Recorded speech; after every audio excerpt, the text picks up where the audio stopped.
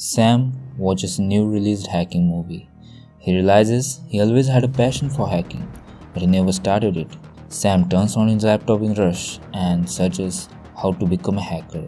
He finds tons of content and guides and he gets confused. But in time, he finally clicks on this video. You came to right place Sam.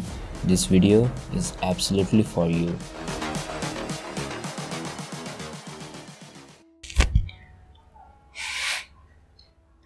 With so much content on the internet, anybody can learn any skill they want. But it can be overwhelming for some.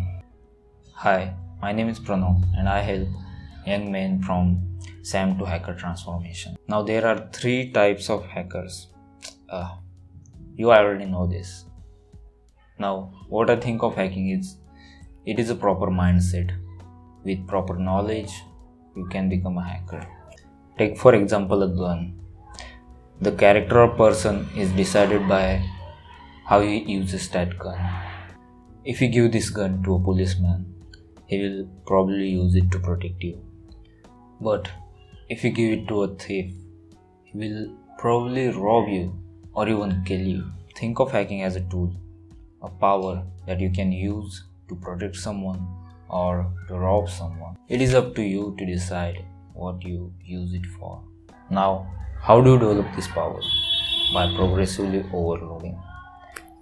You might have heard that heard of this term in the gym where you start with the small weights and then gradually increase the weights, resulting you to gain more muscle. The same principle goes here.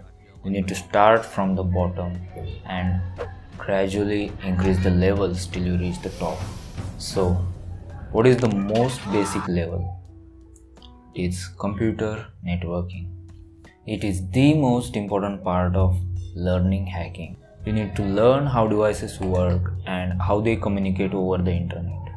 Also, learning how DHCP works, how SSH works, how other communication protocols work in networking. Once you gain the good grasp of how networking works, you can start learning how the security aspects of these things work. The one resource you should use is TryHackMe. You should start with very basics like walkthrough videos on TryHackMe. When you get comfortable with the basics, you can try solving CTFs. And you continue doing progressive overload and learn new things such as new cyber attacks, new networking stuff, new new networking concepts. Now listen to this. You don't expect to be spoon fed when you see an error and when you are stuck solving a CTF, no one is going to help you. You are not mommy's little boy anymore. What you need to do is you go on the internet and you research everything regarding that topic. Don't read walkthroughs after just 5 minutes of researching. Just keep on trying with the hacker's mindset. Once you feel you are at the point or you are at the top 1 or 2% on TryHackMe, Try solving rooms on Hack the Box and do the same progressive overloading there as well. Keep practicing, keep failing, keep learning, keep researching.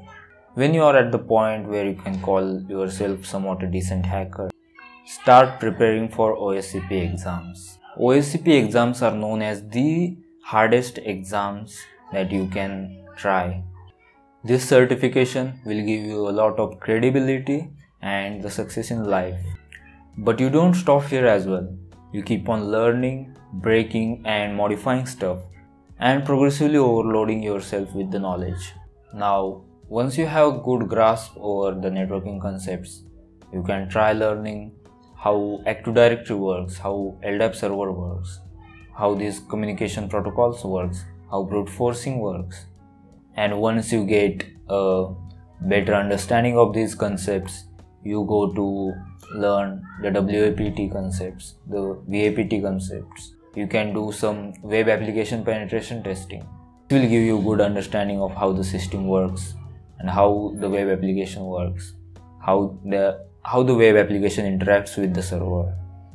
You can try to learn those things. You can try to learn how man in the middle attacks works. You can try to learn how wireless security world. also don't forget to progressively overload. You need to pick one subject and stick to it. Once you pick a subject, you start from the bottom. You start from the basics concepts of this subject and you progressively overload yourself to learn and to get at the top like to get a good understanding of this subject once you get a good understanding of this subject you move on to the next subject. You move on to the next topic that you want to learn. There is this one concept that i like is that hacking is being a master of all the trades not a single trade you need to become a master of all the trades you need to know all the areas of hacking the areas of networking. You need to, explore linux you need to explore how web applications work. You need to learn how api interacts with the web application and the server. You need to learn those things. This is how you can become a hacker. If you like this video please subscribe to get more like this